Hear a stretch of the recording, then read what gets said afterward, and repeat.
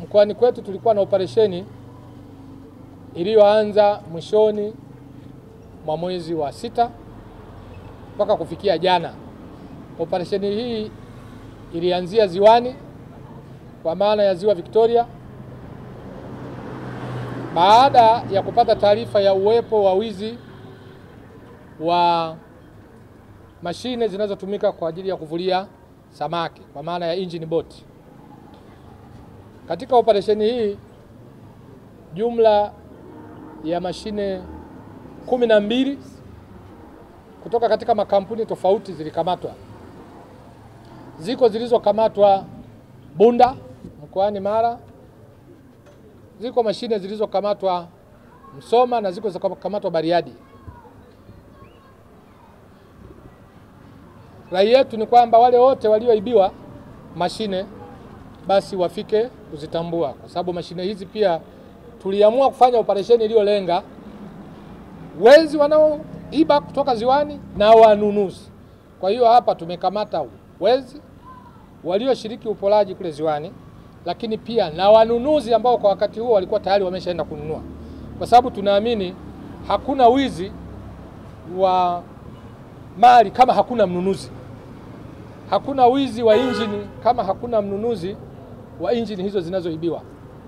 Lakini pia opera, kwenye operesheni hiyo tulifanikiwa kukamata pikipiki sita za aina mbalimbali ambazo zote zinasadikiwa kuwa ni mali ya wizi.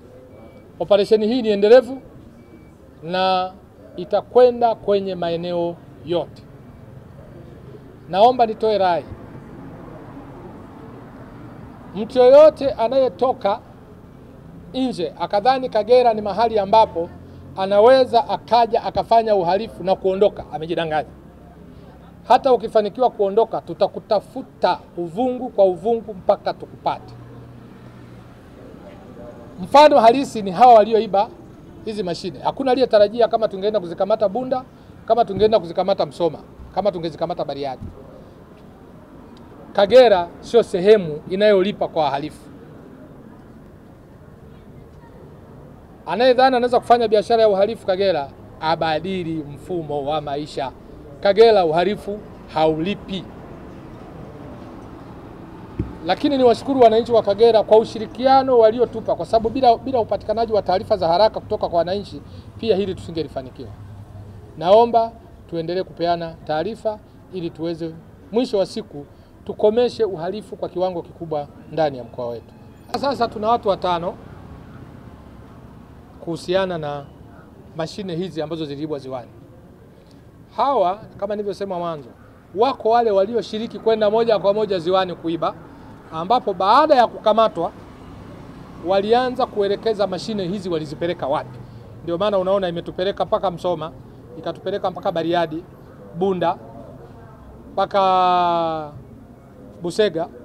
Yote ni baada ya wao waliokamatwa awali kutueleza walipeleka nani mashine hizi wapi.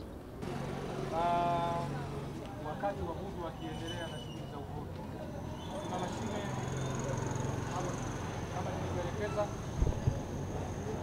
mbili ni horsepower 15 zilizobaki zote hizo horsepower 9.9 Lakini wakati wanaiba hawakuiba injini peke yake, waliiba pamoja na matenki na kuna kitu kinaitwa fuel line ambazo zina kazi ya kuhamisha mafuta kutoka kwenye kwenye tenki kupeleka kwenye mashine. Sasa ukishamwibia mtu tenki, ukamwibia fuel line, ukamwibia na mashine, maana huyo umemkata miguu kabisa hawezi tena kurudi ziwani ndani ya siku chache, lazima imchukue muda, kwa sababu mashine ikiuzwa inauzwa peke yake. Na ina hela yake.